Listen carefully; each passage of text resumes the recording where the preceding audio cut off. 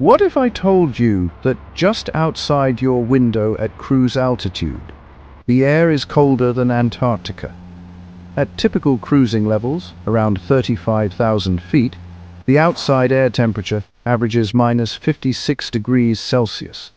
So cold that exposed skin would freeze almost instantly, yet the aircraft glides through it like nothing's happening.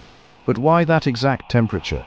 Because the atmosphere's temperature drops with altitude until you reach the tropopause, a boundary layer where the cooling stops.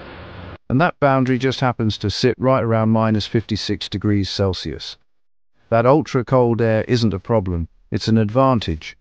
Jet engines breathe denser, colder air more efficiently, and thinner air reduces drag on the wings. The result? Smoother performance, lower fuel burn, faster cruise, a world of minus 56 degrees Celsius just outside the window, and a perfectly warm cabin on the inside.